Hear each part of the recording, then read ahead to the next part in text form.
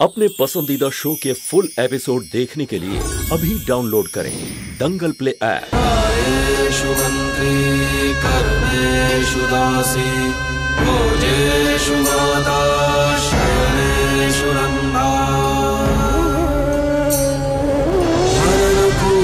मन्त्री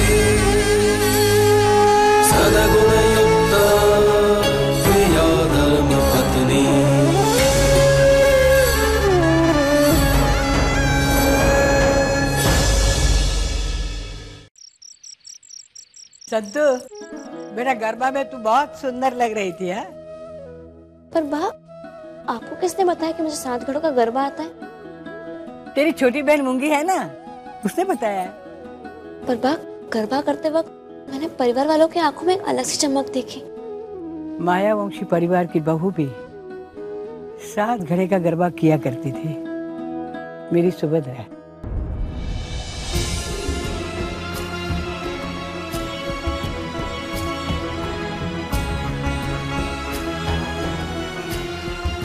तुझे देखकर सबको सुभद्रा याद आ गई।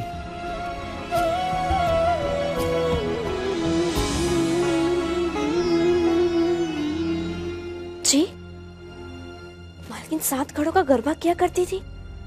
बा अगर ये बात मुझे पता होती ना तो मैं सात घड़ों का गरबा कभी नहीं करती। क्यों? क्योंकि जिस चीज़ से मालिक दूर जाना चाहते मैं नहीं चाहती कि वो बार बार सामने आए।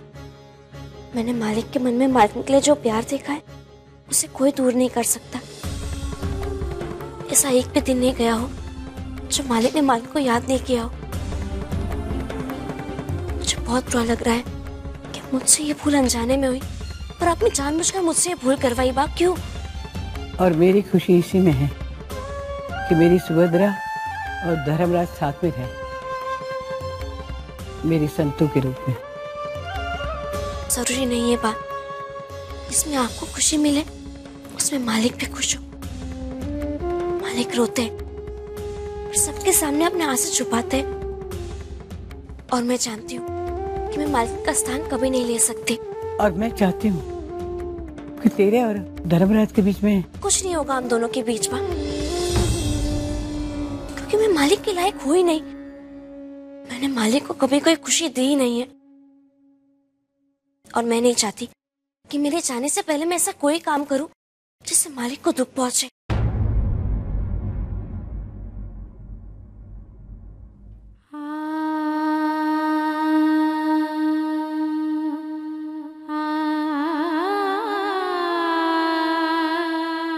हे माँ मैं क्या करूँ? मैं क्या करूँ कि मेरी सत्य इस घर में रहे? और धर्मराज के संतु के बीच की ये दुइया दूर हो जाए।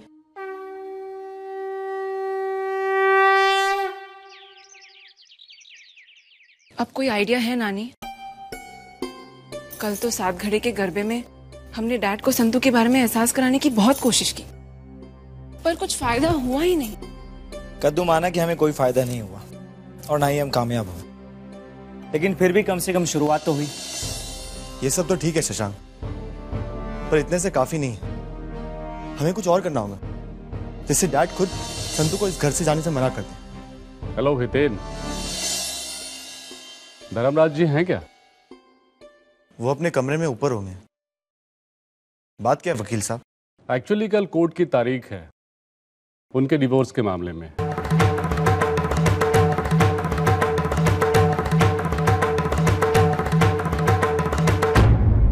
इसीलिए उन्हें और मिसेस मैया वंशी को कोर्ट आना पड़ेगा डिवोर्स के पेपर्स पे सिग्नेचर करने के लिए। पर उनके तो नवरात्रि में नौ दिन उपवास रहते हैं। और कल तो अष्टम। मुझे नहीं लगता कि पप्पा कल आ पाएँगे। अरे हाँ धर्मराज ने कहा था तारीख आगे ले लो। तो क्या वो कल के डेट को एक्सटेंड करना चाहते हैं? जी जी वकील साहब।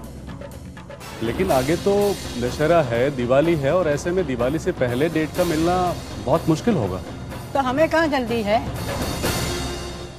मेरे कहने का मतलब ये है कि कल तो मुमकिन है ही नहीं। कल तो गाँव में हवन है हम सब वहाँ जाएँगे। और धर्मराज भी वहाँ काम में होगा ना। एक काम करो ना दिवाली के बाद ही ये तारीख ले लेना। ठीक है मैं कोशिश करता हूँ। लेकिन ये बात आप उन्हें बता दीजिएगा। हाँ हाँ ज़रूर ज़रूर। जय श्री कृष्ण। जय श्री कृष्ण।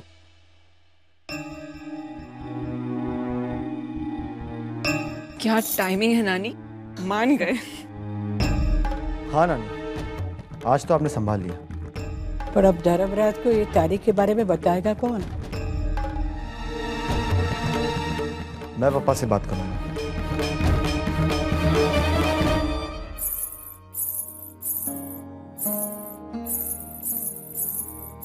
मालिक आपके लिए फल और साबुदाने की खिचड़ी। हाँ रख।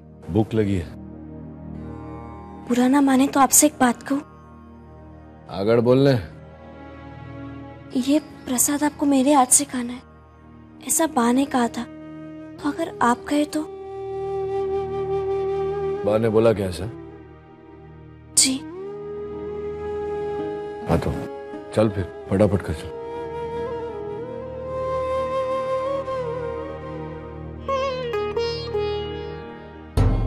समय है लोहा गर्म है कर लो चोट जा जा जा जाना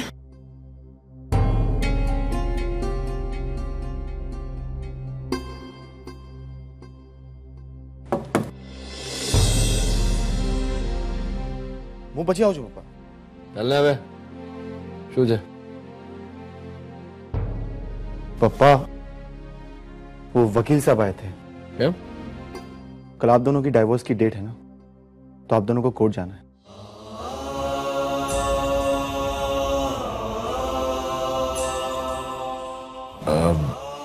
हाँ पर वो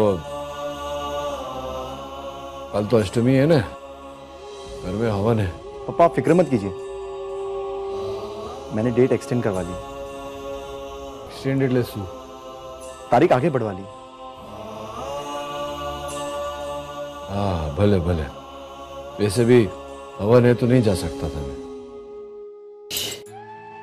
निशाना अच्छा लगा है हितेन ने है ना तूने देखा शशांक धर्मराज ने कहा कि तूने अच्छा किया धर्मराज भी चाहता है कि संतु यहाँ ज्यादा रहे હવે ચાલ ને તું બાબા મારું મોડું શું જોયે છે જમવા દે ને ભૂખ લગી है हाँ पापा તમે જમી લો दिवाली के आगे की डेट ले ली है मैंने હા વાંધો નહીં ચાલ હાલ ચાલ ને બધું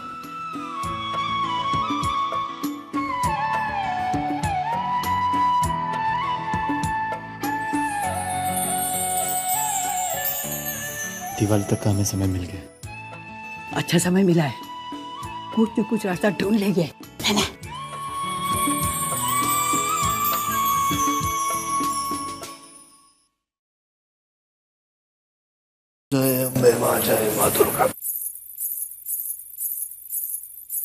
मालिक दूध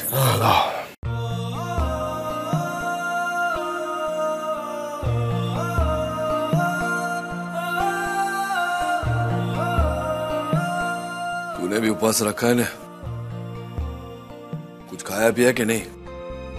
नहीं मालिक पहले मैं स्तुति करूँगी फिर ही कुछ खाऊँगी। हाँ खाई ले जाओ। ए मौलिक! जी पप्पा जरा नीचे आओ ना आवियो पप्पा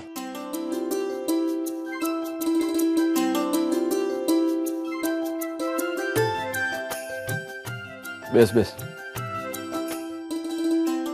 वो जम खंबाड़िया जाके आया ना तू શું થયું કામ का क्या हुआ तुझे जब पूछा उसका उत्तर देना तो ठीक है ना जाम खंबाड़िया कांजी उससे मिला? जी पापा मिला मैं उससे।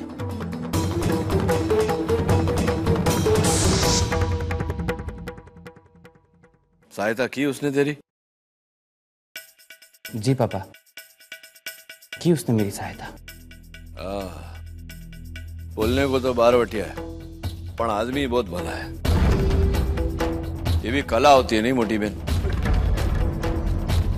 सबका मन जीत के अपनी प्रशंसा करवाने की मैं तो पहली बार मिला था ना उससे तो समझ गया था कि बहु खरो मानस है पापा वो अच्छा आदमी नहीं है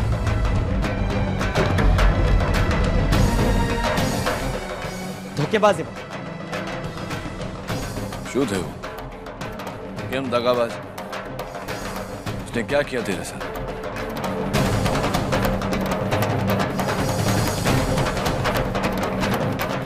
नहीं पापा वो भरवटिया है ना डाकू कहाँ किसके सगे होते हैं अरे फर्क होता है डाकू અને बारवटिया में डाकू अपने आनंद के लिए लूटता है ना बारवटिया दूसरों की सहायता के लिए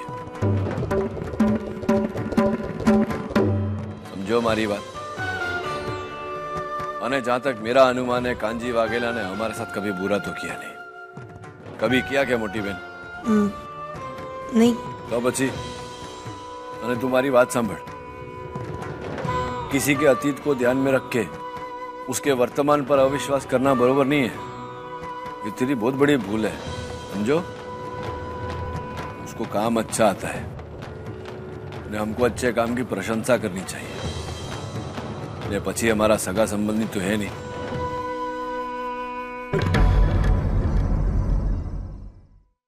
काम पे ध्यान दे बाकी भूल जा जी पापा અને સાંભળ કાલ હિતેનને આરતી કીધી ને આજ તું કરજે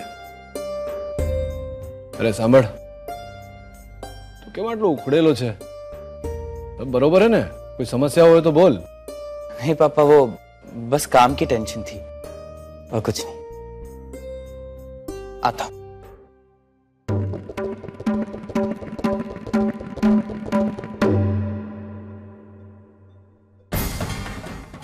अब ये बात बढ़ती जा रही है।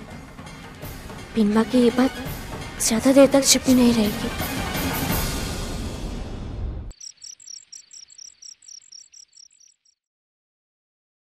गजब का छोकरा है। सब आरती के लिए राह देख रहे ने हजू नीचे नहीं आया।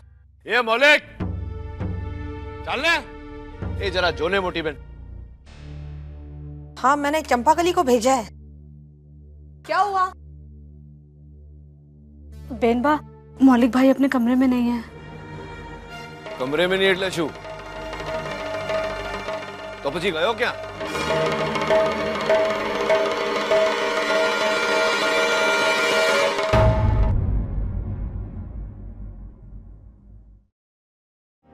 ये चल ना मोटी बहन अब और प्रतीक्षा नहीं कर सकते चल तू कर आरती चल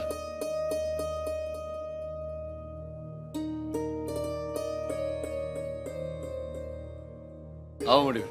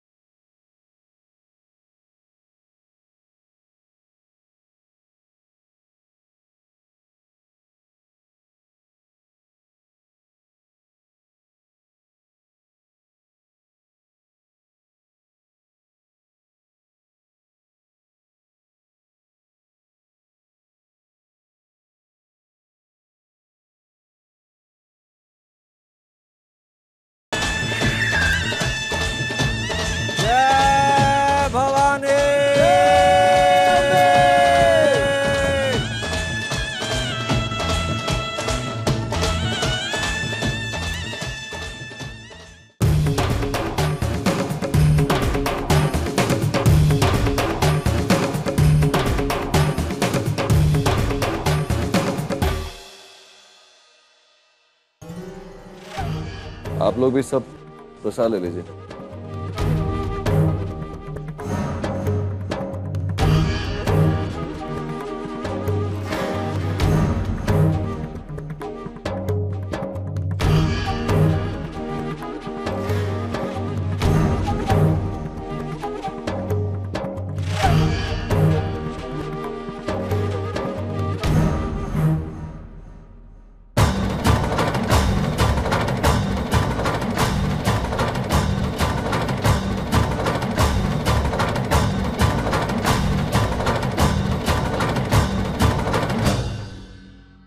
प्रसाद खाओगे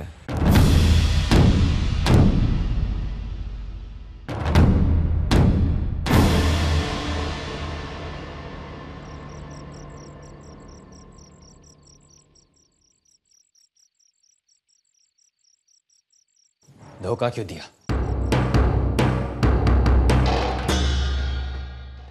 जवाब दो मुझे। क्यों दिया धोखा मेरी फुई को?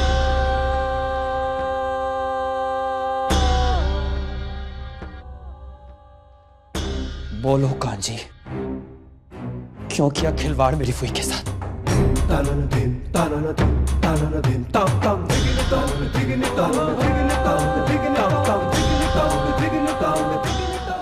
अच्छा क्या जानते हो तुम? मेरी और उसकी ज़िंदगी के बारे में। सब कुछ।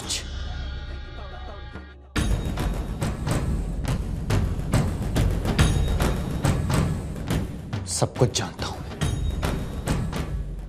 ये कि तुमने मेरी फुई से शादी की थी। और ये भी खिलवाड़ किया तुमने मेरी फुई की ज़िंदगी के साथ। अगर ये बात तुम्हें तुम्हारी फुई से पता चली तो फिर वो झूठ है। और जो भी तुम्हारी फुई ने मेरे बारे में तुम्हें बताया वो गलत है। वो गलत है। खुद अपनी आँखों से देखिए तुम दोनों की शादी की तस्वीर। वो गलत है।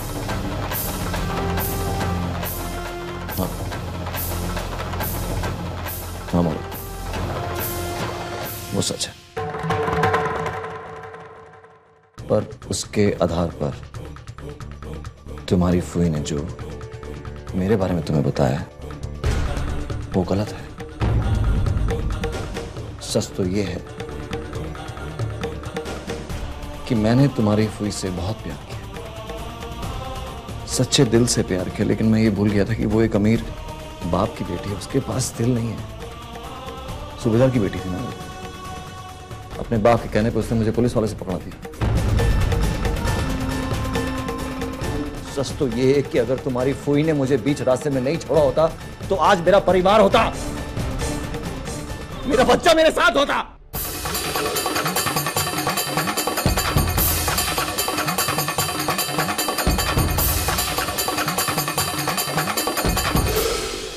तुम्हारी फुई के एक गलत हरकत के कारण मैं अपना बेटा गवा बैठा हूँ आज।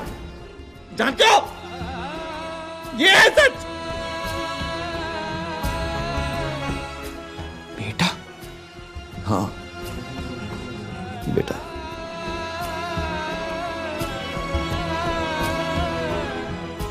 जिसके लिए मैंने इंतज़ार किया, जेल में, सड़ा मैं।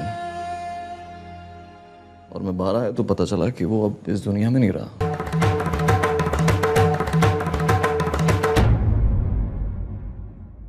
हमारे रिश्ते का आधा सच तुम्हारी फुई ने तुम्हें बताया होगा। मलिक, मैं तुमको पूरा सच बताऊँगा। शायद तुम्हारी फूई ने तुमको यह नहीं बताया कि मेरा और उसका एक बच्चा भी था।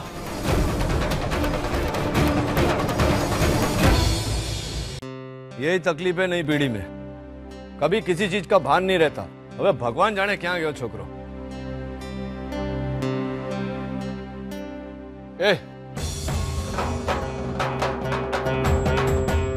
मैंने तेरे को बोला था ना कि आज साँझ की आरती तेरे हाथों से होनी है। कहाँ गया था? जाम खंबाड़िया गया था। जाम खंबाड़िया क्या? शू थे मुझे पता चला पप्पा की कांजी से बहुत बड़ी भूल हुई थी। उसी का जवाब मांगने गया था। कि जब वहाँ गया तो पता चला गलती कांजी की नहीं, किसी और की थी पप्पा।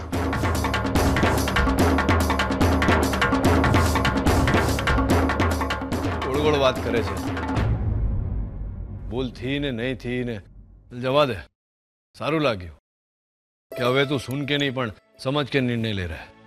अपनी जिम्मेवारी उठा रहा है। पर दिख रहा ये भी तेरी जिम्मेवारी है ना? नवरात्रि वर्ष में एक बार आती है।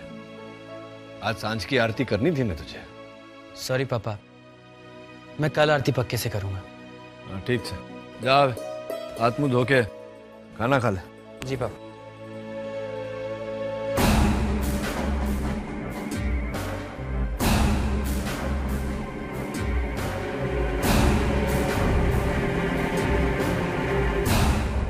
मैं खाना परोस के आती हूँ। अरे भोग देना उसको भोग। हाँ। ले सांबर छोकरी। कल आठा में अने धर्मपुर में हवन है। घर के सब लोग जाएँगे। तू जरा बाग का ध्यान रखना। जी।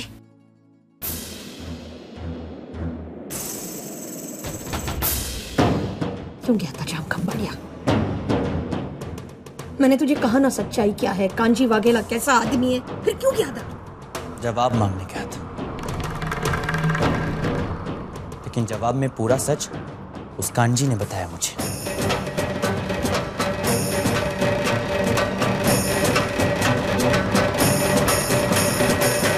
सच बताने का दावा करने के बावजूद आपने मुझे कभी पूरा सच नहीं बताया। कैसा सच? आपकी और कांजी की संतान का सच हुई।